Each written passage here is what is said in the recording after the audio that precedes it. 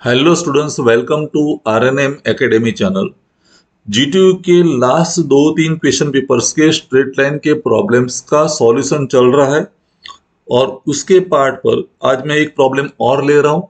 Winter 2023 examination का ये problem है। सब्जेक्ट कोड है three double one double zero one three ये सॉल्यूशन की और आगे बढ़े। इसके पहले अगर आप नए हैं तो मैं एक बात बोल दूँ। प्रोजेक्शंस ऑफ़ स्ट्रेट लाइन नाम का प्लेलिस्ट मेरे चैनल पर अवेलेबल है। उसमें जो वीडियो नंबर फोर है फोर्थ नंबर का वीडियो जहाँ मैंने सैंपल एक प्रॉब्लम लेके सभी टर्मिनोलॉजी एक्सप्लेन की है। अल्फ़ा क्या है बीटा क्या है theta phi true length EPD तो ये सभी बातें मैंने उस वीडियो में डिस्कस की है। उस वीडियो की लिंक मैं डिस्क्रिप्शन में डाल रहा हूँ। तो वहाँ से जाके पहले वो वीडियो का फंडामेंटल समझ लीजिए। और आज के प्रॉब्लम का फिर मैं सॉल्यूशन ले रहा हूँ। प्रॉब्लम इस प्रकार दिया है line A B eighty m m long is incline to H P at thirty degree and to V at forty five degree the end A is in H P and V P draw projection of line A B find length of top view and front view of line and inclination of them with H P and V P ये सात mark का question है। Solution कैसे किया जाए? वो step wise हम समझते हैं। चलिए सॉल्यूशन की ओर। Data of this problem student data दिया है लाइन ए बी लाइन का नाम है ए बी और उसमें point it is 80 m m long means true length मुझे दी है 80 m m true length is 80 m m then it is incline to H P at 30 degree and to VP by 45 degree means HP के साथ angle means theta 30 degree दिया है और VP के साथ एंगल 45 दिया है। ये थीटा और फाइव एंगल जो है, वो हमारे ट्रू लेंथ का एंगल है। रियल प्रोजेक्शंस का एंगल नहीं है। अगर आपने वो वीडियो शुरुआत के नहीं देखे हैं लाइन के कॉन्सेप्ट के तो प्रोजेक्शंस ऑफ़ स्ट्रेट लाइन का जो प्लेलिस्ट है, उसमें basically video number three means line की सीक्वेंस में थर्ड जो वीडियो है वो बहुत इंपॉर्टेंट है तो थर्ड या फोर्थ वीडियो दोनों सही ढंग से देख लीजिए तो आपको पता चल जाएगा। प्रोबेबली फोर्थ वीडियो है। उसमें ये सब कॉन्सेप्ट मैंने क्लियर किया है। तो थीटा और फाइव मैंने लिख दिया। फिर position of point A is given it is in H P and VP A is in H P and VP तो ए की पोजीशन इन एच पी भी है। एंड इन वीपी भी है। और हमें प्रोजेक्शंस ड्रॉ करने हैं। Find length of top view and front view हमें क्या फाइंड करना है? तो फाइंडिंग में टू फाइंड एक हमें एलिवेशन की लेंथ फाइंड करनी है मीन्स ई एल दूसरी प्लान की लेंथ फाइंड करनी है मीन्स पी एल और inclination of them with H P and VP तो एलिवेशन का जो एंगल आएगा एक्स वाई के साथ, वो अल्फ़ा और प्लान का जो एंगल आएगा एक्स वाई के साथ, वो बीटा वो हमें डिसाइड करना है अल्फ़ा एंड बीटा तो इस तरह से ये डेटा हमें दिया है। अभी मैं शुरुआत करता हूँ प्रोजेक्शंस की। तो सबसे पहले, अभी आपको पता होगा कि मैंने एक्स वाई लाइन ड्रॉ कर दी। ये हमारी एक्स वाई लाइन बन गई। So this is X Y line X Y line अभी उसके बाद ये एक्स वाई लाइन हो गई, यहाँ ईपीडी नहीं दिया है तो लेकिन ए की पोजीशन मुझे दी है A is in H and VP तो मैं कहीं एक पॉइंट मार्क करता हूँ, वो दोनों projections A dash and A वो दोनों एक्स वाई पर ही होंगे। तो ए डैश भी एक्स वाई पर है single point but it will represent both the positions A dash plan point mean elevation point and plan point दोनों एक्स वाई पर मैंने मार्क कर दिए।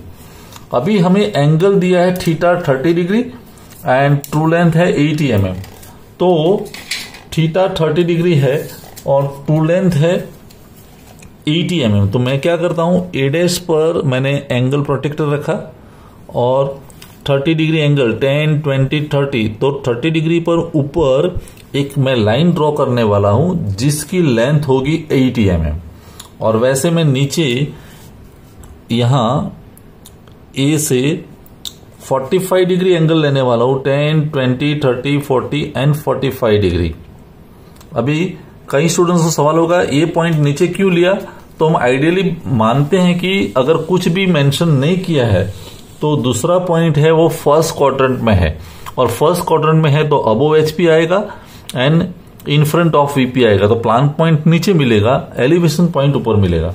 तो यहाँ से मैं दोनों से लाइन ड्रॉ कर रहा हूँ। ए डैश और ए लाइन को मैं ज्वाइन कर रहा हूँ, लेकिन लेंथ कितनी होनी चाहिए? 80 एम mm तो देखे, ये मैंने दोनों को एक साथ पॉइंट मिलाया और the length of the line is 80 m mm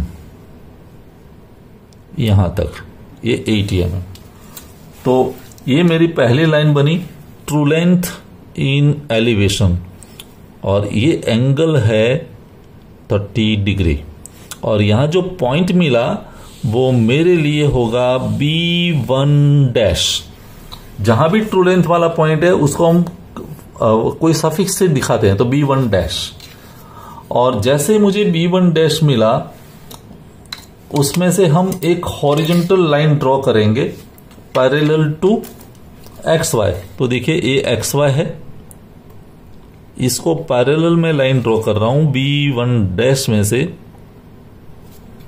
और ये लाइन हमारे लिए बनेगी लोकस ऑफ़ बी डैश तो ये लाइन हम लिख सकते हैं this is locus of B dash वैसे हम एक एंगल मैंने मार्क किया है नीचे तो यहाँ भी मुझे ट्रू लेंथ तो 80 एम mm ही लेनी है। तो ए और ए दोनों पॉइंट को साथ में लेके मैं 80 एम की लेंथ यहाँ तक मैं लाइन ड्रॉ कर रहा हूँ। ये लाइन और ये पॉइंट जो मुझे मिला, वो हमारे लिए होगा बी टू प्लान पॉइंट है। सफिक्स वन है तो यहाँ टू दिया। और ये भी ट्रू लेंथ है 80 एम लेकिन एंगल है 45 डिग्री और जैसे ये लाइन मिली तो उसमें से भी हम हॉरिजेंटल लाइन ड्रॉ करेंगे पैरेलल टू एक्स वाई और वो हमारे लिए लोकस ऑफ़ बी होगा। तो बी टू में से आप एक लाइन ड्रॉ कर सकते हैं हॉरिजेंटल लाइन और ये लाइन पर हम लिख सकते हैं लोकस ऑफ़ बी तो दो लाइन तो हमें मिल गई true length in elevation and true length in plan अभी फाइंड करना है real elevation and real plan तो करते क्या है, देखिए, हम बी वन डैश में से, ये लाइन बी वन डैश तो बी वन डैश में से परपेंडिकुलर में लाइन ड्रॉ कर रहा हूँ। कहाँ तक? जहाँ ए है। तो बी वन डैश से ए तो एक्स वाई पर ही है। तो यहाँ तक मैंने लाइन ड्रॉ कर दी। इस डायरेक्शन में बी वन डैश का नाम बदल के हो गया बी वन ए सामने है ए और बी वन के बीच का डिस्टेंस मीन्स प्लान लेंथ और प्लान लेंथ जितनी रेडियस लेनी है सेंटर बनाना है हमें ए को.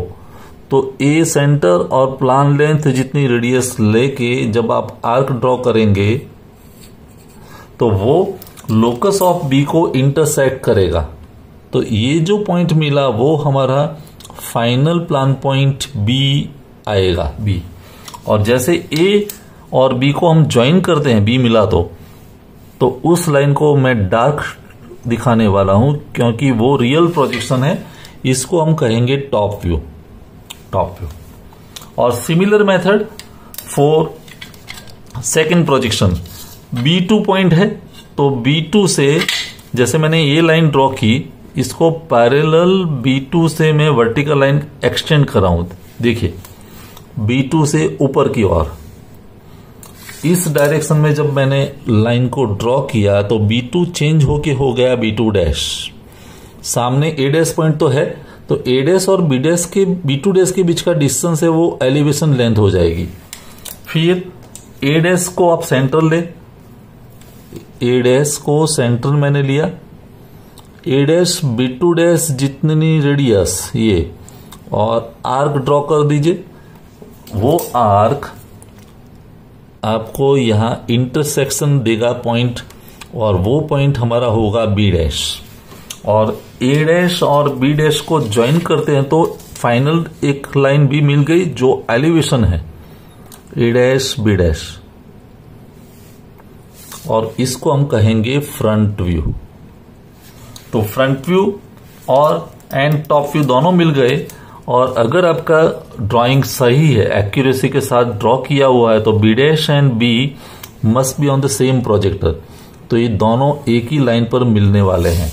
बी डैश एंड बी एक ही प्रोजेक्टर पर आएँगे। जैसे ए डैश और ए है, वैसे बी डैश और बी एक ही वर्टिकल लाइन पर मिलने वाले हैं। अभी फाइंड क्या करना है? Elevation length and plan length तो एलिवेशन जो फ्रंट व्यू जो मुझे मिला, उसकी लेंथ मेजर कर दीजिए। जैसे मैं यहाँ से मेजर करता हूँ तो क्लैरिटी हमें